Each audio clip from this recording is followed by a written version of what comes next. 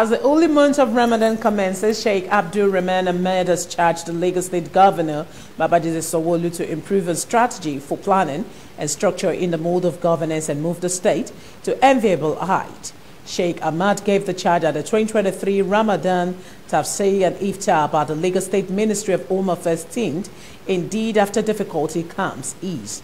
At the State House Mosque Complex, the Chief Commissioner of Ansar-Ud-Deen Islamic Society of Nigeria said Almighty Allah can hold anyone to account while thanking Allah for turning fear into security, sorrow into joy, and doom into celebration and stamping governors Sanwo-Olu's second term in office.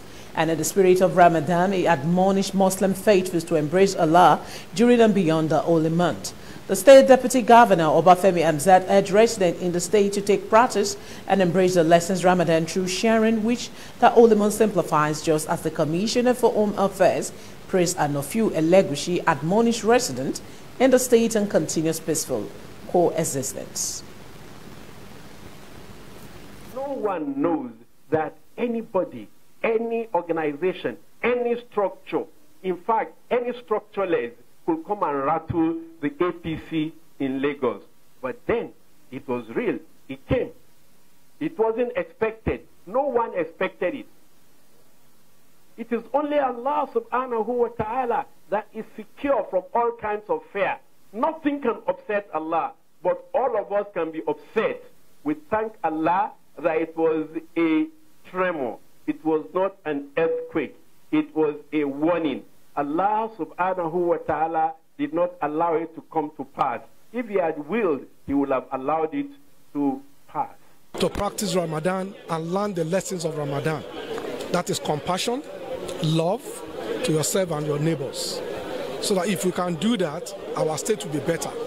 So we must practice what we are told during the month of Ramadan and all through the year so that we show compassion, we show love, we help people who are in need, people who are less privileged, so that we can all raise everybody's standard across the state.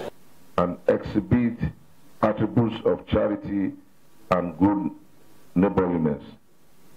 I urge every one of us to avail ourselves of the lectures and practical teachings of seasoned Islamic clerics who have been selected to remind us of our roles as Muslims during this Ramadan period. Allah Himself is offering reconciliation with us. After we have spent 11 months in frivolities, Allah now says, Look, I love you. Let us reconcile in this month. Allah offers us in this month of Ramadan to work assiduously to reconcile with him, to repent and turn to Almighty Allah. And we need that in this, our country today, particularly in our Lagos state, which is the center point of activities of this nation.